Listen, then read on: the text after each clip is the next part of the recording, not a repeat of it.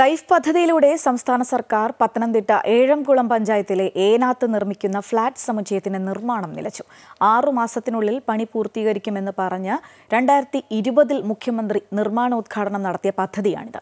നിർമ്മാണം ഏറ്റെടുത്ത അഹമ്മദാബാദ് കേന്ദ്രമായ കമ്പനിയും ഇവിടെ നിന്നും മടങ്ങി. സംസ്ഥാന സർക്കാരിന്റെ ലൈഫ് ഭവന പദ്ധതിയിലൂടെ ഭൂരഹിതരും ഭവനരഹിതരുമായ കുടുംബങ്ങളെ പുനരധിവസിപ്പിക്കുന്നതിന് പത്തനംതിട്ട ഏഴംകുളം പഞ്ചായത്തിലെ ഏനാത്ത് വില്ലേജിൽ നിർമ്മിക്കുന്ന ഫ്ളാറ്റ് സമുച്ചയത്തിന്റെ നിർമ്മാണമാണ് പാതി വഴിക്ക് നിലച്ചത്.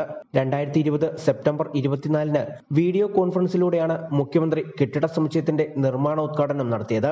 അഹമ്മദാബാദിലുള്ള കൺസ്ട്രക്ഷൻ കമ്പനിയുടെ നേതൃത്വത്തിലാണ് നിർമ്മാണം തുടങ്ങിയത്. കരാർ ഏറ്റെടുത്ത് സമ്മതപത്രം വെച്ച് ആറുമാസത്തിനുള്ളിൽ പണി പൂർത്തീകരിക്കണമെന്നായിരുന്നു വ്യവസ്ഥ. എന്നാൽ കെട്ടിട സമുച്ചയം ഇതുവരെയും പൂർത്തിയായില്ല.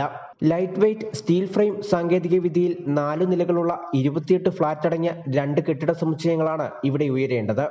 ഇതിൽ ഒന്നിൽ അടിത്തറയിൽ നിന്ന് നാലു നിലകളിൽ സ്റ്റീൽ ഉറപ്പിക്കുന്ന പണികൾ അറുപത് ശതമാനത്തോളം പൂർത്തിയായി. ഇനി സിമന്റ് ഭിത്തികൾ ഉറപ്പിച്ച് മേൽക്കൂരയും സ്ഥാപിക്കണം. വയറിംഗ് ജലവിതരണ സംവിധാനം എന്നിവയും ഒരുക്കേണ്ടതുണ്ട്. രണ്ടാമത്തെ കെട്ടിട സമുച്ചയത്തിനായി അടിത്തറ നിർമ്മാണം മാത്രമാണ് പൂർത്തീകരിച്ചിട്ടുള്ളത്. കേരളത്തിന്റെ ബഹുമാനപ്പെട്ട മുഖ്യമന്ത്രി ഓൺലൈനായി ഇത് ഉദ്ഘാടനം ചെയ്യുകയും ഏകദേശം ആറു മാസം കൊണ്ട് നിർമ്മാണം പൂർത്തിയാക്കി ഭൂരഹിതരെ ഇവിടെ താമസിപ്പിക്കുമെന്നുമായിരുന്നു അന്ന് പറഞ്ഞിരുന്നത്. ഏകദേശം നാല് വർഷത്തോളം കഴിയുമ്പോഴും ഈ പദ്ധതി എങ്ങും എത്താതെ ഇങ്ങനെ കിടക്കുകയാണ്. ഒരു ബിൽഡിങ്ങിന്റെ ഏകദേശം മുക്കാൽ ഭാഗം പൂർത്തിയായി. മറ്റൊരു ഫ്ലാറ്റ് സമുച്ചയം നിർമ്മിക്കുന്നതിനുള്ള തറ മാത്രമാണ് ഇവിടെ എടുത്തിട്ടുള്ളത്.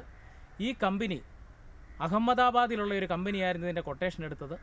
അവർക്ക് കൃത്യമായ രീതിയിൽ പൈസയും മറ്റും കിട്ടാത്തതിന്റെ അടിസ്ഥാനത്തിൽ അവർ ഈ പദ്ധതി ഉപേക്ഷിച്ച് പോയി എന്നാണ് നമുക്കിപ്പോൾ ഇവിടെ അറിയാൻ സാധിക്കുന്നത്. ഇത് ഈ നാട്ടിലെ വിദ്യാർത്ഥികൾക്കും യുവാക്കൾക്കും ഉള്ള ഒരു കളിസ്ഥലമായിരുന്നു. ഇപ്പോൾ ഇവിടെ മൂന്നാൽ വാർഡുകളിലെ കുട്ടികൾ നിത്യം ഇവിടെ വന്ന് വൈകിട്ട് കളിക്കുകയൊക്കെ ചെയ്യുന്ന ഒരു പ്രദേശം. അപ്പോൾ അതൊരു ഭൂരഹിതരായ ആൾക്കാർക്ക് ഒരു ഭവന നിർമ്മാണത്തിനാണല്ലോ എന്ന് വിചാരിച്ച് ഇവിടുത്തെ എല്ലാ ജനങ്ങളും സഹകരിക്കുകയും അങ്ങനെയാണ് ഇവിടെ ഒരു ഫ്ലാറ്റ് സമുച്ചയം നിർമ്മിക്കുവാനുള്ള ഒരു സാഹചര്യം ഒരുങ്ങിയത്. ഏഴ് ദശാംശം രണ്ട് ഏഴ് കോടി രൂപ മുടക്കിയാണ് ഫ്ളാറ്റ് നിർമ്മാണം.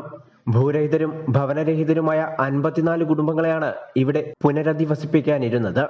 കോവിഡ് പശ്ചാത്തലത്തിൽ പണിയിടയ്ക്ക് വൈകിയിരുന്നു. ശേഷം സ്റ്റീൽ ഉൾപ്പെടെയുള്ള സാധനങ്ങൾക്ക് വില വർദ്ധിച്ചതിനാൽ കരാർ തുക പുനർനിശ്ചയിക്കണമെന്ന് കമ്പനി ആവശ്യപ്പെട്ടതായി ബന്ധപ്പെട്ടവർ പറയുന്നു.